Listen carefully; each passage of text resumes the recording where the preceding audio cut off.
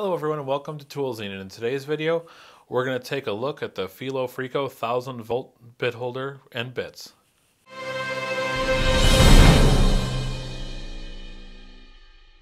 The Felo Frico insulated bit driver set comes with the insulated bit driver itself rated for up to 1000 volts AC. It has an ergonomic handle with a hole through to assist in turning if the fastener is very tight. It also has the detent so that the driver itself won't roll if it's placed on a table. Um, the bits come in and out just like any other bit driver, just insert them in the end, and it is magnetic.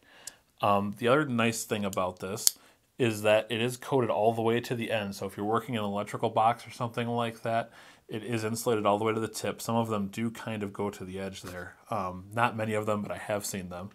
Um, it does come with 11 different bits from Phillips 0 through 2.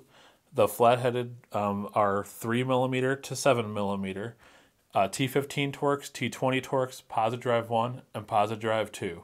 Um, like every other Felo screwdriver, um, the bits are, are excellent. Um, they do have small ridges. I don't know if the camera can show them in there, but they do grab the fasteners extremely well.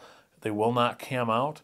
Um, this Phillips 2-bit I've had for about a year and a half now. I use it all the time, and it barely looks like it's even been used. Um, I have used the flatheads as well, um, even on American fa uh, SAE fasteners.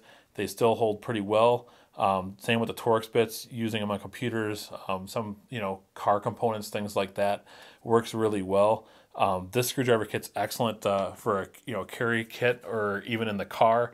Um, like I said, any electrical work, it's nice to only have one driver instead of have separate drivers with you for everything, especially if you're trying to pack a small bag for a quick job.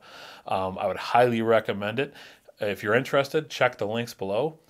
If you'd like to see more videos, um, please subscribe below and click the thumbs up. And if you have any comments, please let us know. Thank you.